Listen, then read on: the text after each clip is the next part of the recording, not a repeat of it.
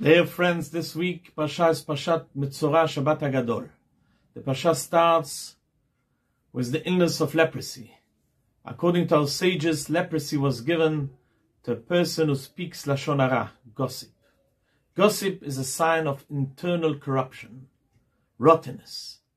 And such person was punished to be exposed with such illness so other people could keep away from him in order to purify himself from this contamination of this illness. He needed to bring a set of different items.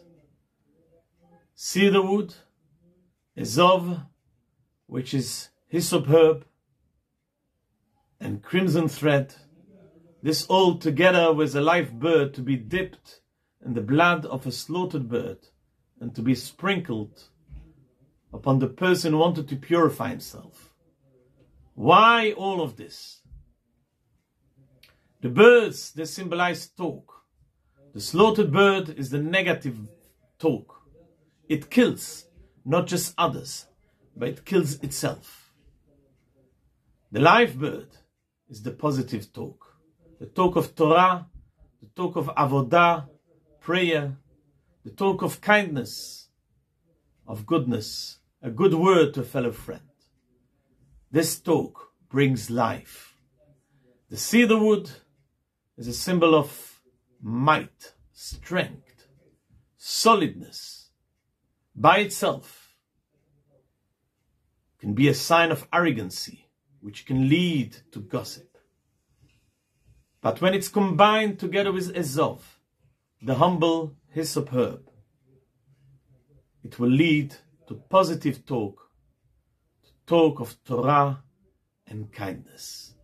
Achayim va'amavet biyad alashon. Life and death, it's in the hands of the tongue.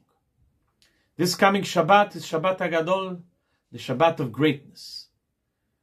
May our greatness, our internal potential, be controlled with humbleness, which will lead to positive talk. Amen. Friends, I would like to dedicate these words to a great rabbi who passed away today in Manchester, Abavrom Zilbiger, Zecher Tzadik Livracha. Abavrom built a shul in Salford. In his shul, the sound of Torah and prayer was heaving 24-7. May the prayers and the Torah in his shul